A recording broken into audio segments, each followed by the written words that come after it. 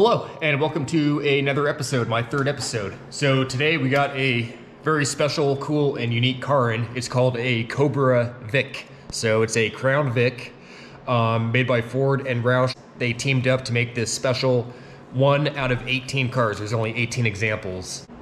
Here she is.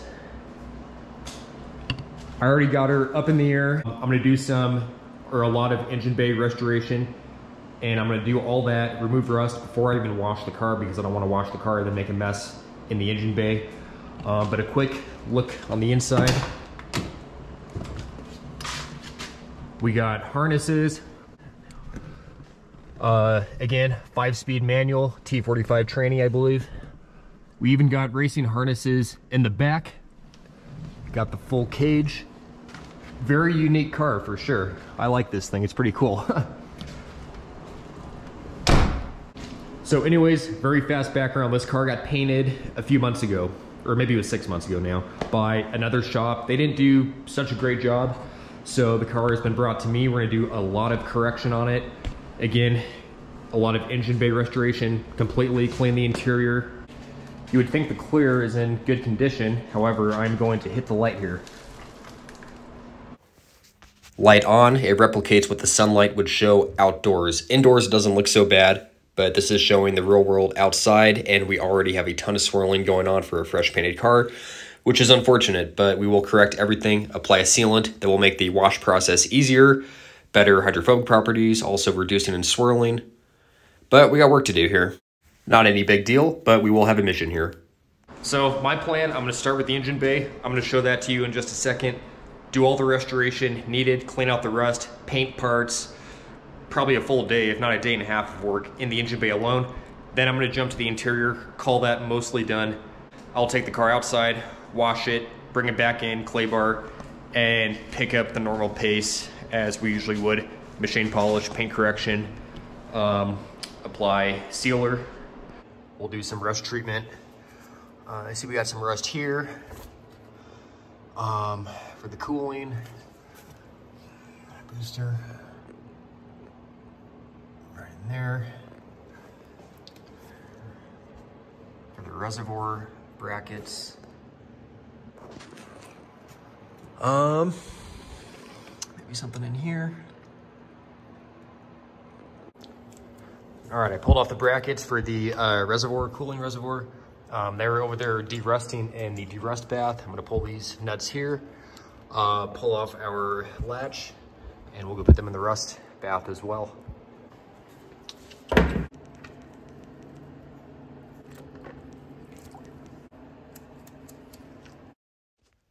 Okay, so for the brake booster, I removed all the rust that I could with sandpaper and a uh, belt sander, but you can see we got Hydrate 80 here, um, probably the best rust converter on the market. It actually works. We're going to use a foam brush, apply it to the um, rusted areas and small localized surrounding areas. Um, after that, it's going to be Scotch-Brited and apply epoxy primer over the remainder of the brake booster. But this stuff goes on kind of a palish light blue. As it cures, the process happens, it begins to turn black. And that is a good sign. That means um, everything is working out. So yeah, just brushing away, getting all the tight spots. All right, the vacuum is in the wall, hooked on the car, so we don't drag and mar up the bumper. Vacuum's gonna turn on while I uh, use the belt sander with Scotch-Brite. It's gonna take all the dust away so it doesn't get all over the place. We're gonna strip this pipe down to bare metal, prime it, and paint it. Obviously, it would be far easier to remove the pipe entirely. However, the seals going into the block could be a can of worms, and the owner does not want to get into that. So we will respect his wishes and just work around it. Okay, applied epoxy primer on the brake booster. Same here for the cooling pipe. I already got it all down to bare metal with a belt sander. Took a little bit of time, but um, that's okay, part of the process. I use Tamco 770 high build epoxy primer with corrosion inhibitors, which will keep it from rusting out and keep it protected. Only thing to do now is sand everything by hand, get rid of all the pits, finish it off with 500 grit sandpaper, and hit it with black. As far as the EGR itself, it is pretty rusted and the pipe going towards the back into the firewall is seized on. So told the owner, he said, um, just do what you can with it hooked on the car. So here I'm applying uh, Dynex gel from Bilt Hamber to remove the rust. I, after this, put it in a Ziploc bag with some tape and I vacuum bagged it just to keep it from drying out overnight. Okay, while the gel is doing its thing on the EGR, here I applied Letrox on the brackets, sprayed them with black. They're going to go back inside under the reservoir here. The pipe itself is painted semi-gloss black, the cooling pipe. The brake booster is wrapped in foil just so it doesn't get disturbed because it's fresh paint while I clean the rest of the area back there. Speaking of that area, I'm going to use a little bit more Hydrate 80 on this area I found right in here. Um, I saw that and figured we can do a little bit better, so I'm applying it with the acid brush. Again, it's designed to go directly over rust only, but overlapping over sanded paint definitely is not going to hurt anything. If anything, you want it to be in localized areas besides just rust, so you don't have anything creep up on you in the future. All right, I'm buzzing away on the interior. I wanted to do the interior before the exterior just because we're doing a lot of cleaning, a lot of carpet extracting. Um, inside, we already abstracted all this. It is looking pretty good. The seats are nice. Um, we did the belts. Obviously, what's not looking so nice is the rusted nuts holding in this um, seat here. So I'm gonna put those in my rust bath. Even though the owner and I did not talk about this, it's gonna be kind of a freebie type of deal, but that's fine. Happy customer, happy life. We're gonna take care of these stains in here. Same thing with this bracket. The only thing left to do is abstract this driver's footwell area.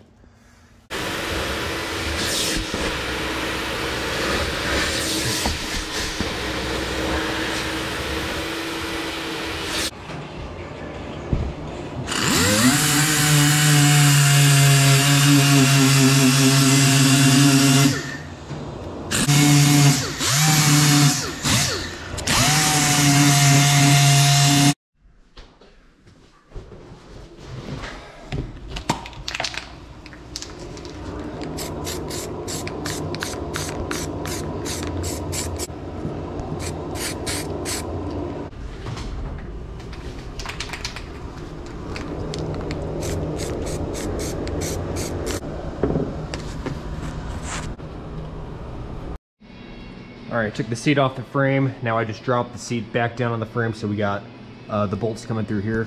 Again, we did not do a perfect job painting. We just painted these brackets here where it's obvious when you open the door.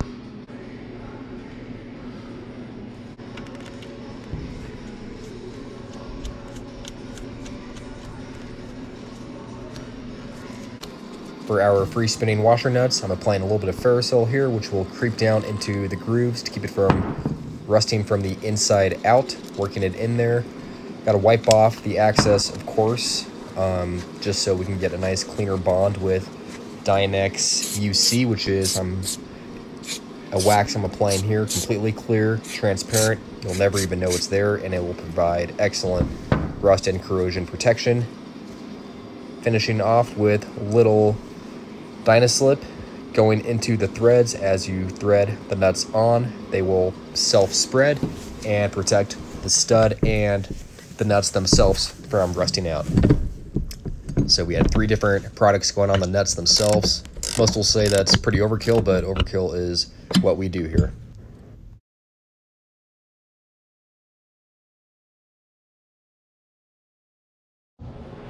Okay, engine bay work is done. Interior is completely done. Um, I even took the car outside and washed it. It's back in. It's been clay barred. Um, so now it is time for not the most exciting part, but a necessary part, paint inspection. I'm just gonna make it quick, but you can see now how many uh, scratches we really got going on in swirls.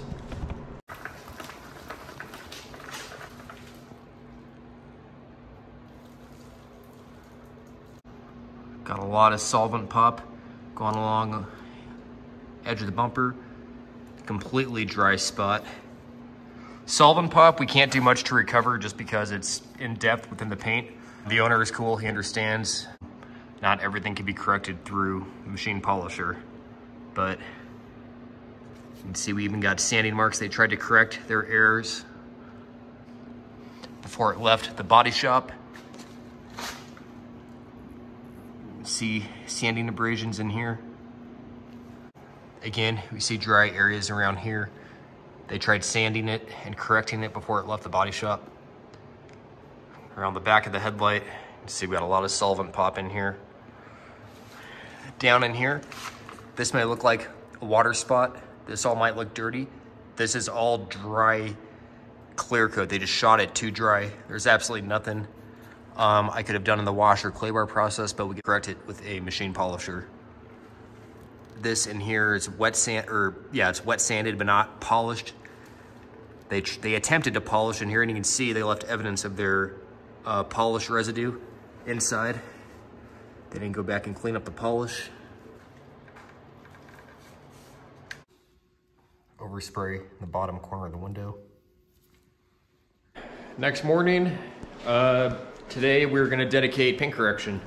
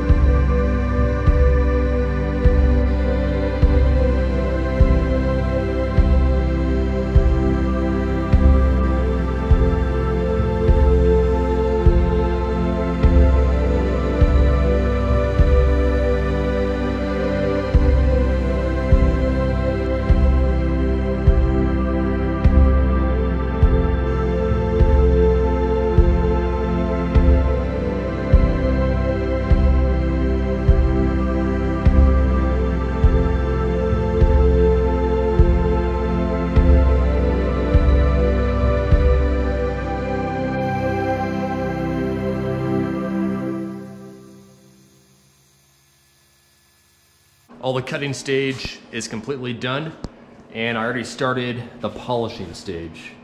I used my new 3401 Red Beast edition from Flex. For those that don't know, they only made a thousand of these units and they're pretty awesome. They got an internal piece from a retired 4,000 horsepower dragster motor that they remelted and formed inside. You get a certificate that you have one. My plaque, I got 469 and I couldn't help it. I also got another one and this one is 38